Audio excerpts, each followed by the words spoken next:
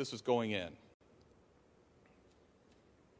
And now we might see that you have eight champion points to spend. Here are the constellations you can spend it on.